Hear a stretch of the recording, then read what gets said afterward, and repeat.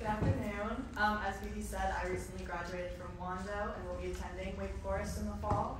Um, I don't yet know what I want to major in yet. I'm trying to explore my options because there's so many things out there. Um, but I do hope to minor in Spanish and maybe study abroad at some point. Um, in high school, I participated in the Wando Chorus for all four years, which was an amazing experience. And I was also a part of the National Honor Society and AP Academy, which are clubs that both encourage service. Um, and I also am a part of the Musical Theater Center, where we put on two musicals every year. And I also participated in musical theater at Wando as well. Um, and on the side, I've been studying opera for a few years through private voice lessons.